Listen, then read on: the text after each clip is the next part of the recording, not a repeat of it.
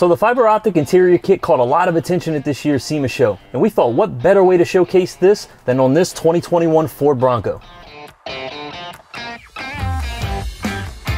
As you can see here, this fiber optic cable can outline virtually any interior panel in the car, giving a cool custom look and pop of color. Today we're going to take you through step by step how we did the install on this 2021 Ford Bronco. It's very straightforward, let's get into it now.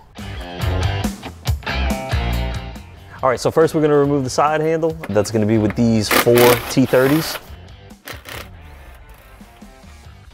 Now that we've removed those, we can just unclip this. Next, we're gonna drop the glove box. There's a clip on each side of the glove box here. We're gonna push those in. We're gonna pull that down. Just go ahead and let that hang there. All right, so we've measured out a seven and a half foot piece of our cable for the bottom. Uh, what we're gonna do to make this fit nicely is we're gonna cut this fin down to half its size. We're gonna use some sharp scissors for that.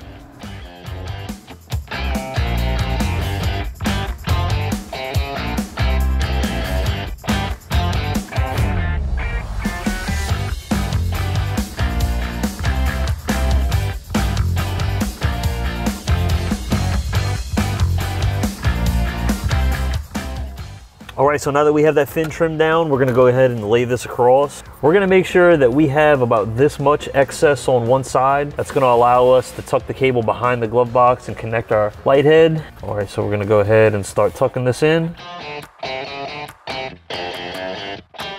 And since we trimmed that fin down, it's gonna allow us to tuck this in between this panel very, very nicely and quickly.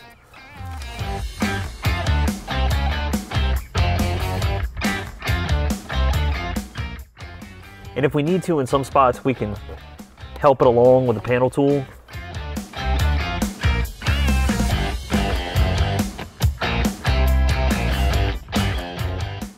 So we took the end of our cable and we ran it underneath the clamshell and then we tucked it under the panel. We're gonna take our knife, we're gonna make a small notch where this cable meets the corner here. We're gonna go ahead and cut a little notch here. That just gives us a little more flexibility with the strip.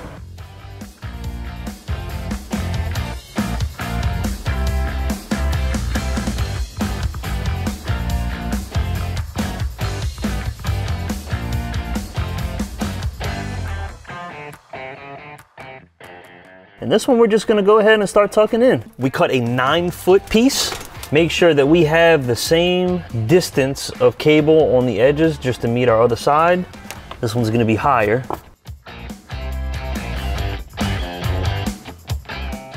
So one thing I wanna point out is that there is a slightly larger gap where the screen is. You wanna make sure that you have enough tension on the cable where it does fit snug here, and that's gonna keep this from sagging or being pushed too far up. So now we're just gonna continue around the instrument cluster. Just gonna get that tucked in here. Make sure we deal with this bend.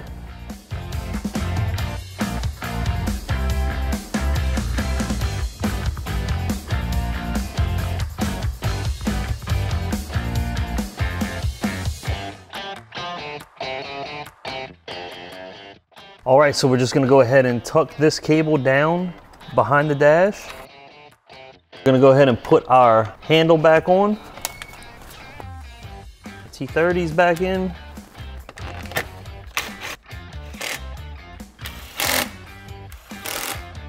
All right, so we need to tuck our cables back behind the dash.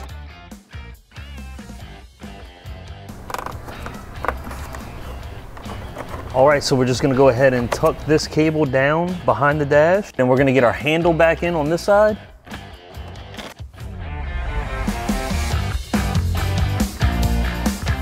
All right, now we can move on to the wiring.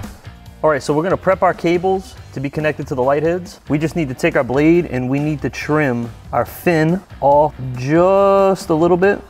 This is gonna allow us to insert the end of the piping into the light head. We're gonna loosen the set screw on one of our light heads. We're gonna insert and then tighten our set screw back down.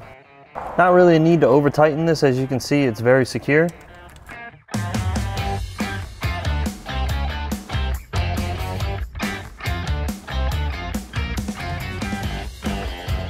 So our controller is going to be installed on the driver's side. I'm going to go ahead and just leave these cables bundled up. We're not really gonna need those to be extended. All right, let's move over to the passenger side and get our light heads connected.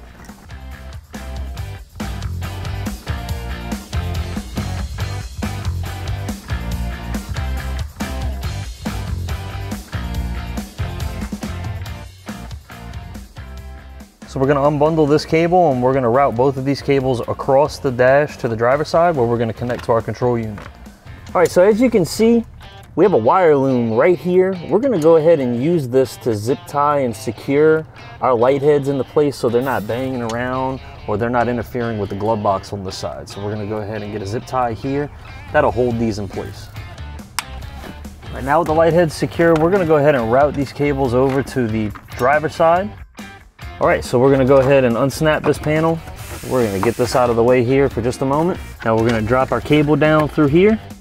We're gonna pass our cables down through the dash.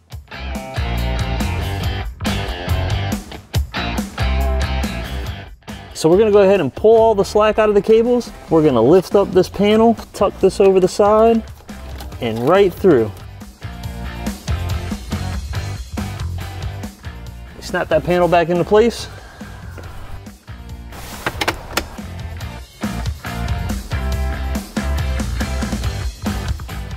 All right, so we're gonna bundle up our excess cable.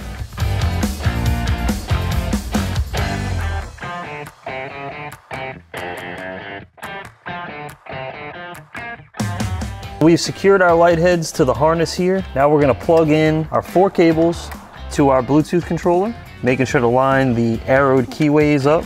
That'll ensure that these work properly. The kit comes with this easy wiring adapter. There's a cigar socket here with an on-off switch. We're gonna hardwire this today, so we're gonna cut this off. We're gonna strip back some of this cabling. That'll expose the red and black wire. We're gonna use these wires to hardwire. All right, so what we have here is an Add-A-Fuse connector. You can get these on Amazon for pretty cheap. You can also get these at your local hardware store. We're gonna crimp our red wire to the Add-A-Fuse connector. So we're gonna grab this five amp fuse. We're gonna plug it in to our slot. Now we're gonna take our add a fuse connector and we're gonna plug it back in where we just pulled that five amp fuse. And now we're gonna remove this seven millimeter bolt. We're gonna put our seven millimeter bolt back in. And now we've got a good factory ground here. So now we're gonna connect the adapter to our Bluetooth controller. And now we should be able to test the lights. All right, now that we've got everything connected, we're gonna go ahead and just get this all zip tied up. So we're gonna tuck our cables in. We're gonna go ahead and zip tie our controller right here to this wire harness.